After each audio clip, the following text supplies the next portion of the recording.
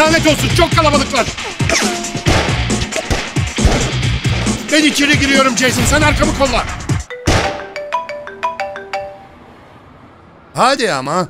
Telefonunuzun sesini kısmazsanız filmin tadı çıkmaz ki.